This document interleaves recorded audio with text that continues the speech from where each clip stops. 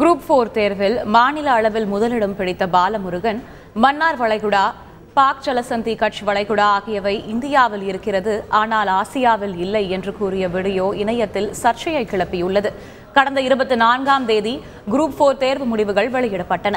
நன்றாக படித்தவர்களுக்கு சரியான மதிப்பெண் அளிக்கப்படவில்லை என்றும் அதே நேரத்தில் குறிப்பிட்ட மையங்களில் தேர்வு எழுதியவர்கள் அதிக மதிப்பெண்கள் பெற்று தேர்வாகி இருப்பதாகவும் தகவல்கள் வெளியாகி பரபரப்பை ஏற்படுத்தின.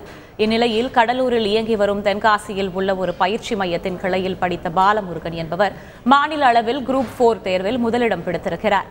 இதற்காக அவருக்கு நடத்திய பாராட்டு விழாவின் போது பாலமுருகன் எக்கு தப்பாக பேசிய வீடியோ இணையத்தில் பரவி வருகின்றது. டெட்டில் வந்து ஒரு கேள்வி கேட்டிருந்தாங்க. ஒரு மலைத்தொடர் ரிலேட்டடாக கேட்டுட்டு அது வந்து எந்த கண்டத்தில் இருக்குது அதை சுற்றி உள்ள அந்த நீர் பிரிக்கும் பகுதி இருக்கு இல்லையா? வி- விரிகுடா பற்றி கேட்டிருந்தாங்க. ஆப்ஷனில் மூணு இது கொடுத்துட்டாங்க. பாக் நீர்ச்சந்தி மன்னார் விளைகுடா கட்ச் வளைகுடா. அது கண்டிப்பாக என்ன இல்லை. ஆசியாவில் இல்லை. இது மூணுமே எங்கே இருக்குது இந்தியாவில் இருக்குது அப்போ உங்களுக்கு அந்த கண்டு பெரு தெரிஞ்சாலும் தெரியலனாலும் என்ன ஆகிட போகுது? ஆப்ஷன் அந்த மூணுத்துல இல்லாத ஒரு ஆப்ஷன் இருக்கு இல்லையா? அதுதான்.